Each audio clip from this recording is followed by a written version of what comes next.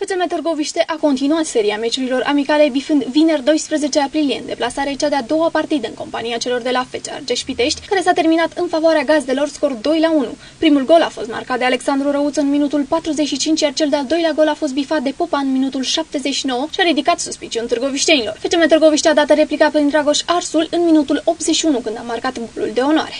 După amicalul cu Dacia Mioveni scor 1 la 1, tunarii târgovișteni au mai disputat o partidă uh, de verificare, de data aceasta în Trivale, pe stadionul Nicolae Dobrin, adversară fiind uh, divizionara de 2 FC Arge și Pitești.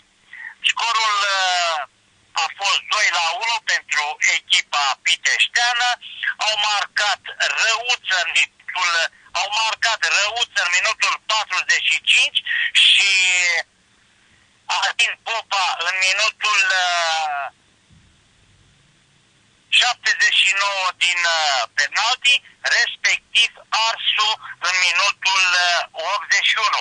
A fost o partidă echilibrată cu faze care s-au derulat rapid cele două părți. Uh, Futurii au fost ceva mai activi, mai ofensivi și au avut posesia balonului, dar replica târgovișteană a fost uh, destul de bună și târză. La scorul de 1 la 0, argeșenii au uh, beneficiat de un uh, penalti gratuit inventat de arbitrul central Leonard Lilea și finalizat de Alin Popa, fluierașul din Pitești a motivat că a fost Hens la Cernea, dar n-aș băga mâna în foc că a fost așa. Târgoviștenii nu vor debuta nici în etapa 20, dar va susține pe 19 aprilie ultimul meci amical. FCM Târgoviște își va relua jocul oficial din etapa 21 când o va întâlni pe Compet Ploiești, ocupanta locului 5 în clasamentul general.